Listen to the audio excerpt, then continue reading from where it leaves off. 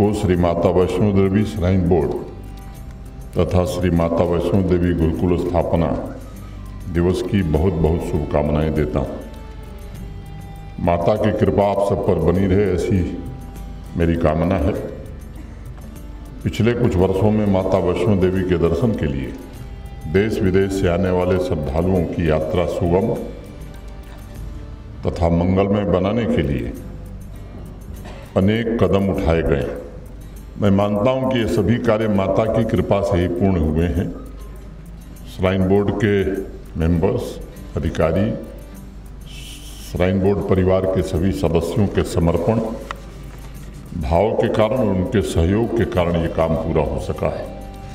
आज स्थापना दिवस पर मैं उन सभी का अभिनंदन भी करता हूँ तथा गुरुकुल के आचार्य और विद्यार्थियों को हृदय की असीम गहराइयों से बधाई देता हूँ। जीवन का मूल आधार जो है वो जिज्ञासा है।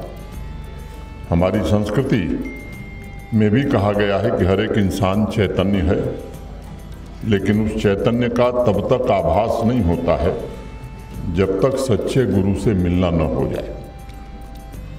गुरु से मिलने का अर्थ भी यही है कि चैतन्य के सहज अनुभव का द्वार खुल जाए गुरु से मिलने का सीधा सीधा मतलब है। शिष्य अब उस विराट अस्तित्व को देख सकेगा, समझ सकेगा। दिन प्रतिदिन उसके कारण उसकी जिज्ञासा बढ़ेगी और वह श्रद्धावान होता जाएगा। माता वैष्णो देवी गुरुकुल की स्थापना उसी जिज्ञासा की नींव को मज़बूत करने और उससे उत्पन्न होने वाली प्रज्ञा की अभिव्यक्ति के लक्ष्य के साथ की गई थी।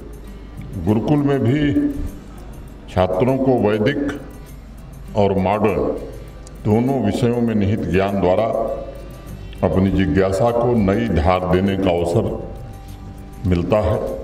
माता वैष्णो देवी गुरुकुल के विद्यार्थियों को यह क्षण उपलब्ध हो रहा है और आज मैं कह सकता हूँ कि वो श्रद्धावान होकर नैतिक मूल्यों को आत्मसात करने की दिशा में प्रयत्न कर रहे हैं। और मैं मानता हूँ कि चरित्र निर्माण से ही राष्ट्र निर्माण संभव है।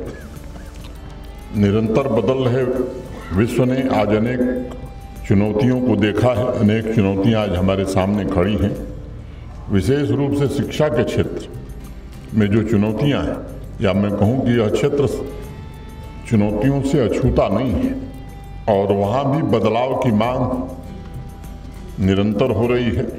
मुझे अत्यंत प्रसन्नता है कि गुरुकुल ने परिवर्तन को अपनाया है। साइंस और संस्कार की पढ़ाई साथ साथ कर रहा है और मैं बार बार ये कहता हूँ कि संस्कार और साइंस का मिला जुला स्वरूप ही असली और सही शिक्षा पद्धति है। इसलिए हमें बिना डरे हुए नई पीढ़ी को संस्कार और साइंस के मिले जुले स्वरूप के रूप में विकसित करना होगा ताकि समाज में नई रचनात्मकता पैदा हो। शिक्षा पद्धति एजुकेशन सिस्टम जिस दिन परिवर्तन के भय से मुक्त हो जाएगा तथा नए सिलेबस, नई प्रणालियों को अपनाना शुरू कर देगा। यकीन है मुझे कि नैतिक मूल्य और वैज्ञानिक सोच समाज के हर स्तर तक पहुँच सकेंगे। आर्थिक, सामाजिक विकास के साथ हम आत्मिक उत्थान की दिशा में भी आगे बढ़ सकेंगे। पिछले कुछ वर्षों में इस लक्ष्य के साथ गुरुकुल ने अनेक मॉडर्न सब्जेक्ट्स भी शुरू किए हैं और अब सिलेबस में मौलिकता, तार्किकता तथा वैज्ञानिकता को भी स्थापित किया गया है। गुरुकुल के विद्यार्थियों ने आज अपनी सनातन परंपरा से भी यहाँ के विद्यार्थी उतने ही परिचित हैं, जितना वह साइंस के विभिन्न विषयों से।